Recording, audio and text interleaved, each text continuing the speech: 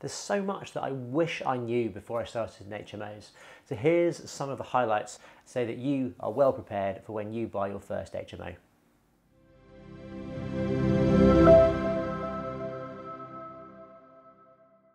Before I got into HMOs, I was told how amazing they were going to be. I was told they were going to be easy cash flow, uh, you know, and, and all these other investors were saying you know, that you just go out there, you could do it, you fill the properties and set and forget.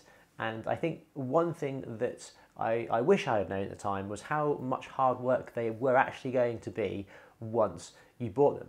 Now, this is not to try and put you off, it's to give you a bit of a reality check on what an HMO is. An HMO is something which provides you with high cash flow, but it does have additional work. And anything which is worthwhile generally is worth working for.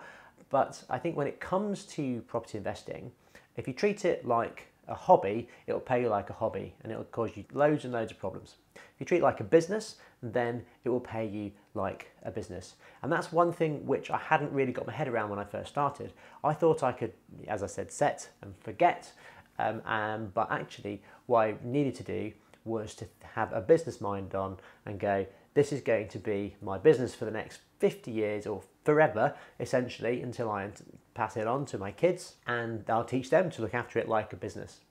So that's a key thing that we must get right first and foremost is don't think it's going to be a couple of properties to give you a bit of extra income. Think about it as this is something I want to have in my portfolio of, uh, of properties, of uh, of assets, of businesses, uh, because it's going to pay you really well. But you need to put in systems and processes which are going to manage it to allow you to free up your time to do what you want to do. Now, most people get into property not because they love it, because they, they see it as a means to an end. And that's how it was for me. It became a love, but it was a means to an end so that I could focus on um, my family, so I could focus on creating music as a, as a musician before getting into property. So I wish I had known that that was the way that I should have been thinking from day one. Now, if you've read my book, Next Level Landlord, you would have read the opening story, which talks about two tenants who started going at each other. Now, these were two of my very first tenants in our first HMO. So that was one of my first learnings, was that I shouldn't be managing the property. I should be using someone with a bit more expertise, someone who's got experience in dealing with these issues, but also someone who is less emotionally involved because it's my property, it's my house. You know, I want the, happy, the tenants to be happy there, but also I want to make sure the tenants are paying the rent, and uh, it's hard to detach yourself. Whereas you have that person in the middle, so you can detach yourself and make a business decision which is in the interests of uh, the tenant, but also in the interest of running your business uh, smoothly.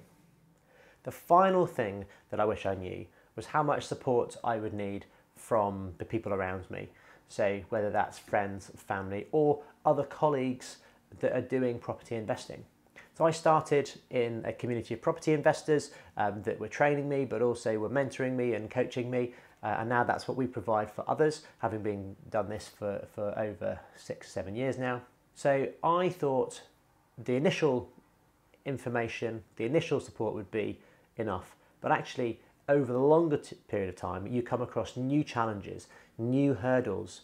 Um, so having that support around us was so, so important. And we still have it to this day. We've just upped the level of the mentorship, we upped the level of people that we hang around with to help us to grow to the, to the level that we want to get to.